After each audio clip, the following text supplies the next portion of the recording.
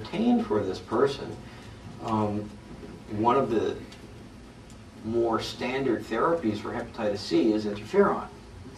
And very clearly, not only will the side effects of interferon be made more tolerable in light of good glutathione levels, but the interferon itself will have a better efficacy. There's a number of studies that show that if you're going to use interferon, raising glutathione levels is an excellent idea. Yes, sir. You comment on homocysteine and, and also glutathione? Uh, to raise glutathione, we're trying to deliver cysteine to the cell. Why not just eat cysteine? The free amino acid cysteine itself carries a certain toxicity. And if you flood the system with too much of it at once, you can get into a situation called um, uh, uh, hypercystinemia. Thank you, Jim. Jim knows I've been traveling. And which is actually a pro-oxidant state. And so you're totally getting away with what you're trying to do. What is there another amino acid that can deliver cysteine to the cell? Amino acid called methionine.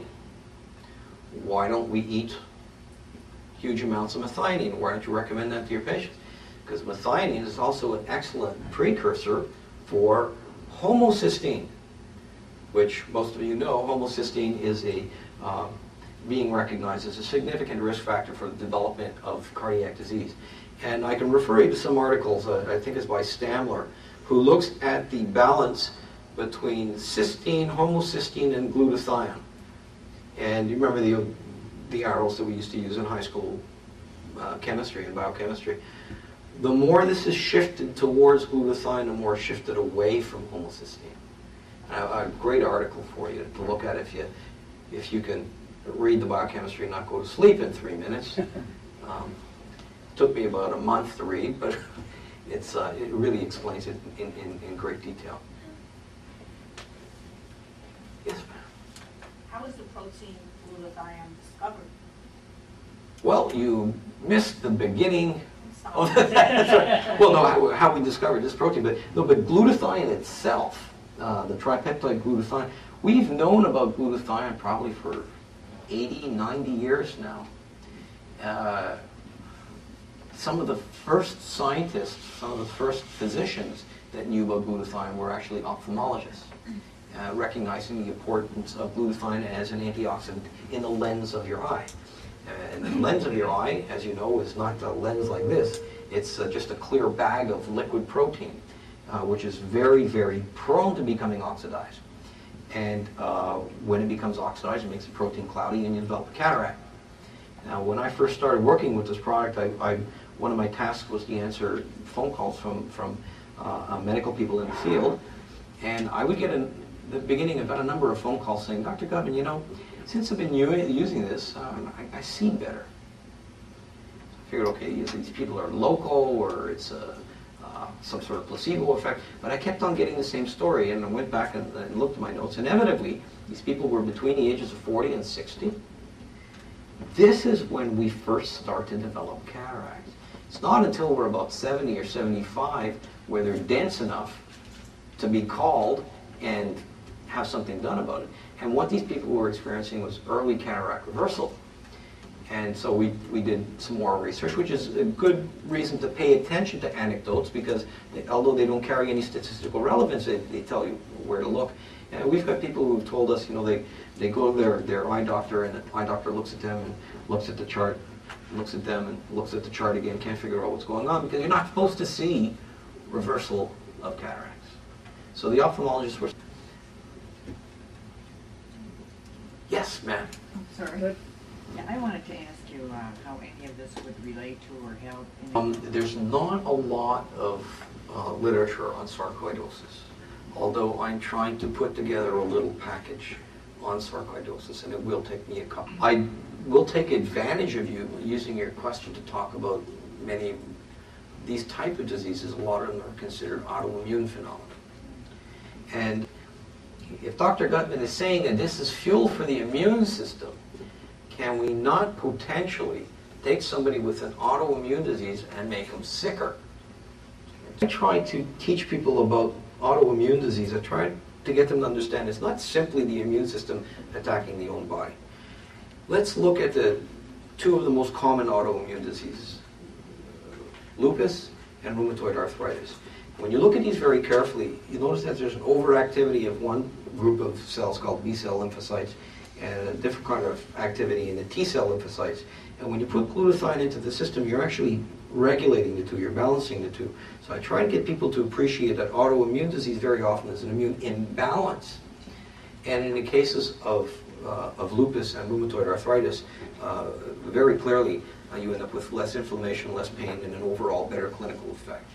Another autoimmune disease that, uh, that is addressed very well by, by raising glutathione would be multiple sclerosis. Uh, the mechanism there is different. Uh, in MS patients, there's a breakdown of uh, something called myelin, which is a coating around the nerves. Um, this myelin, because it's a fat, is very prone to the oxidation of fats, lipid peroxidation.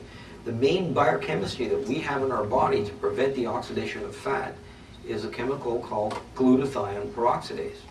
And by raising glutathione levels, you raise glutathione peroxidase, and you're able to prevent some of the damage done to the myelin sheath in, uh, in an MS patient. So the, you really have to look at the nitty gritty of, of, of the mechanisms going on. How many more questions do you think we should take? No, Jim's here. Dennis, you can stand. No. Well, Go we ahead. did. Go ahead, one more. Yeah. If, uh, will this product make vitamin E or vitamin C obsolete then? Absolutely not. Um, just like I think it's crazy for people to say you only should be eating proteins, or you shouldn't only be eating fats, or you should only talk to your wife and not hang with your buddies. We need all of this stuff. Okay? And if you changed your question and said, Dr. Gutman, if you were stuck on a desert island and you only had one supplement to take, yes, I would take a glutathione precursor. But glutathione works with vitamin E and vitamin C and, and, and A. Uh, it's important with a number of the, the, the B vitamins are involved in the, the uh, uh, regulation of its energy. Uh, folate is important. Selenium is critical. So we need all of this stuff. There's a lot of supplements that I wouldn't touch with a 10-foot pole.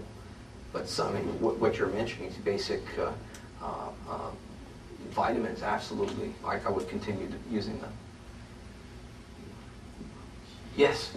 Um, my 14-year-old daughter developed a Bell's palsy, and um, I know the etiology of Bell's is still much of a mystery, and I worry about a reoccurrence. She's 16 now, and she's been taking the Immunocal. Um, just, I think, to make herself feel like if there's anything you can do, you try to do anything. And uh, I was just wondering if there's any studies on that, and also completely different is peripheral neuropathy, which is Okay. the motor. Okay. Um, in the case of Bell's, uh, usually it's once you get over Bell's, you, you're, you're over it. Uh, unfortunately, about 20% of uh, people who have Bell's palsy are going to have some long-term sequelae. Um, I haven't seen any formal studies done in Bell's, uh, but I know that if it was my patient or me or my child, I, I would try to jump on this at the very outset, the very outset. Because although we don't know the complete pathophysiology behind Bell's, it's, it's obviously an immune phenomenon. Um, so I c- can't really help you too much there. In regards to peripheral neuropathy, well, the, the most common peripheral neuropathy that we see these days is a diabetic peripheral neuropathy. And uh, I can show you studies where people have done nerve conduction studies uh, before and after glutathione. Uh, this is this is something that I think is going you're going to see a lot of in the future. And for any diabetic, uh, anybody with heart disease, anybody with history of stroke, anybody who's a smoker, anybody who's high cholesterol, the common thread over there is uh, problems with the circulation. And way this works is, for example, this person who has a, a neuropathy is because of the circulation is affected to the peripheral nerves in the case of diabetes. And what's going on is fats like cholesterol, triglycerides, when they become oxidized, it changes in biochemically and it renders them stickier. So they end up gumming up your arteries. It's layman's explanation. again, it's glutathione peroxidase that stops lipid peroxidation. Glutathione peroxidase will slow down the oxidation of these fats, like cholesterol, so that if you have a cholesterol level of 700 and I have a cholesterol level of 700, but you have a lot of glutathione, you are far more protected from the long-term consequences of cardiovascular and circulatory disease. So anybody who's uh, on that list has to look at this strategy carefully.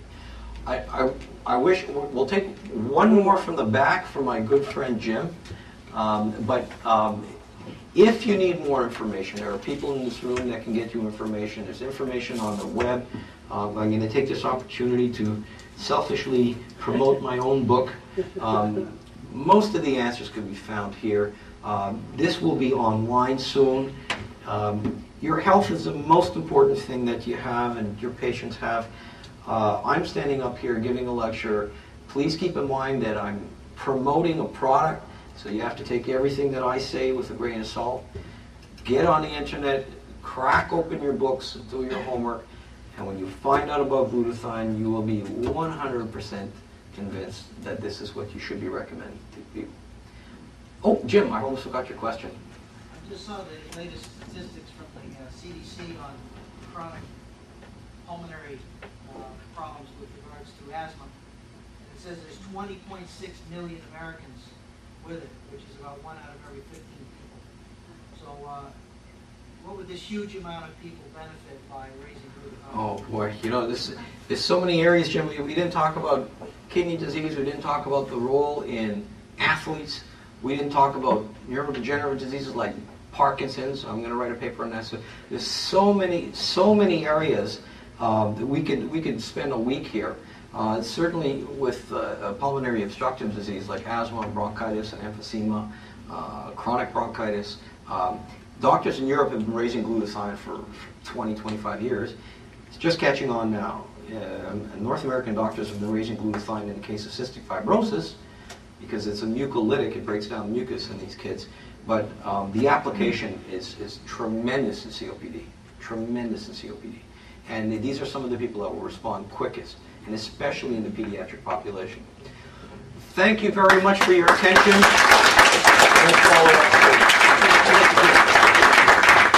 Okay, thanks, Dr. Gutman. We appreciate it. Introduce uh, a good friend of ours, and uh, he travels the United States. Uh, He's a representative of Immunotec Research. He talks to all sorts of group, and now you've learned about glutathione. Dr. Gutman talked a little bit about what we can do about it. Uh, We're going to introduce Jim Spencer, the national spokesman, travels around quite a bit, and he's going to uh, talk to you about Immunotec and Immunocal. Uh, Mr. Spencer.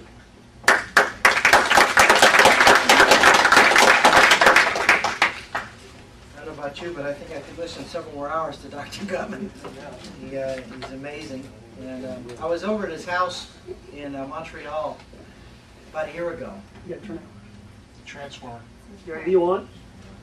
Oh, yeah. Somebody unplugged it? No. Was it me? Who unplugged it?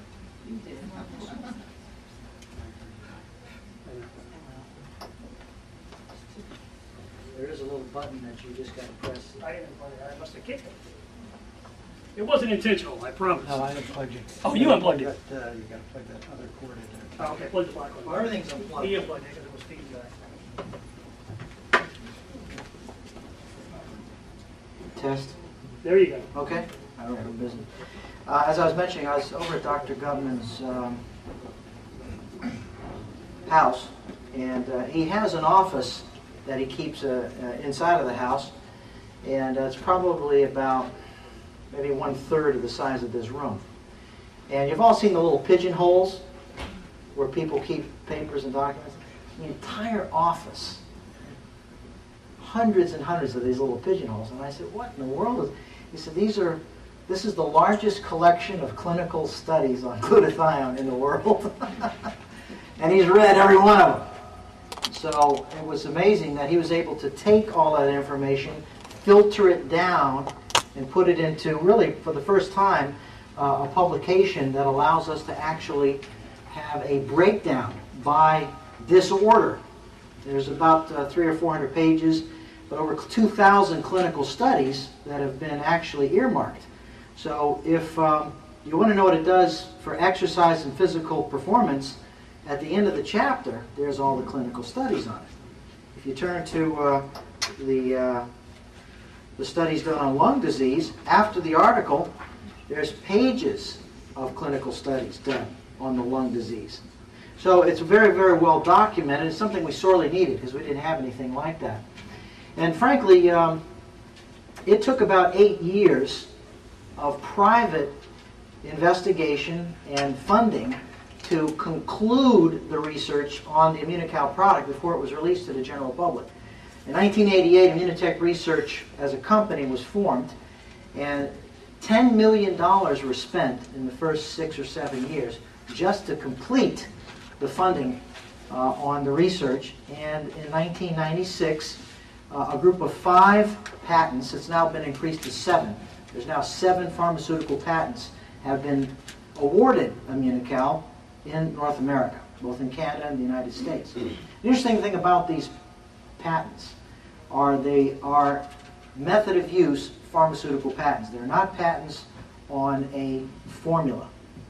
Now, formulas are very simple patents and very inexpensive patents to get. You can just tweak something a little bit this way or that way, and you can get another formula.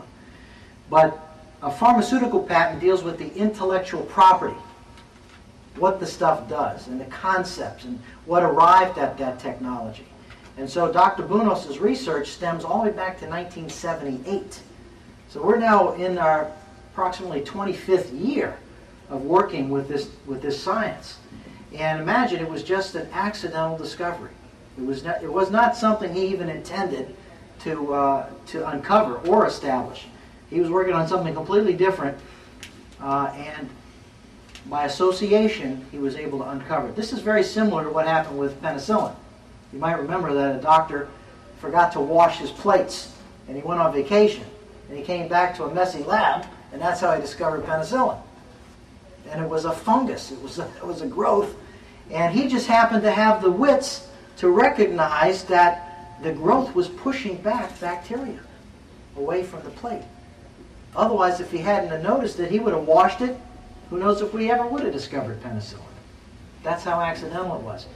But you know what? It took 22 years from that moment until penicillin was finally released to the general public. And two years later, it was given the Nobel Prize for Medicine. And five years later, every doctor on the planet was using penicillin. Isn't that interesting?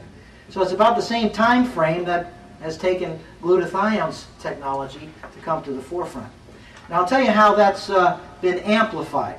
It's been amplified in the last seven years because the company became a marketing tool for Immunotec Research Limited, and we began to offer it to the general public beginning in 1997. In fact, it was a little small room like this in uh, Montreal where they first had Dr. Bounous talk to a group of, uh, of people about it, and they said, listen, we'd like your help. We'd like to, to educate the general public. And from that moment on, we've been educating ever since. Men like Dr. Bounous uh, have expanded to men like Dr. Uh, uh, Jimmy Gutman, uh, Dr. Summersall, Dr. Iwama, and maybe some of you doctors in here also will join our efforts because it's not something that happens overnight. In fact, Dr. Gutman says that uh, the medical profession, pardon the expression, is very similar to an elephant. It takes a lot to get it to move. but once you get it moving, it takes a lot to stop it. And so that's what is happening. The doctor